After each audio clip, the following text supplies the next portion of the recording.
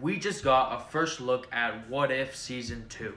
The first episode is apparently going to be called What If Nebula Joined the Nova Corps, which I actually think could be interesting. I know that Nebula has sort of been a, villain slash anti-hero, but I think uh, this will be a very interesting route for her to go on full-on hero, you know?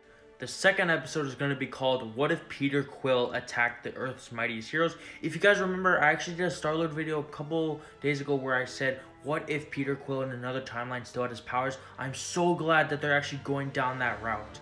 The next episode is going to be called What If Kahhori Reshaped the World? I'm not really sure uh, about anything about this person. She's apparently a new character uh, made for just the show, so I think that this could be really interesting, and I'm really excited where they're going to go with her. Next is called What If Hela Found the Ten Rings? This is probably one of my most anticipated episodes as we're getting three major great characters who are going to be in the same setting together. I actually cannot wait for this episode. It's going to be great. Next episode is called What If Happy Hogan Saved Christmas? I'm guessing this is a Marvel version of Die Hard. Um, don't really care about this episode, but every Marvel show needs a filler episode, and I guess this is going to be it. Next is uh, what if Captain Carter fought the Hydra Stomper? I'm glad we get to see Captain Carter again. I loved her in What If, and uh, it seems that this might be actually a bit of a rival situation. We don't know if Cap's being mind controlled or if he just really just doesn't like her.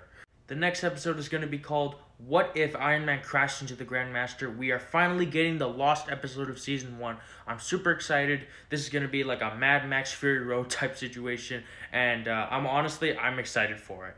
Next, we have What If the Avengers Assembled in 1602?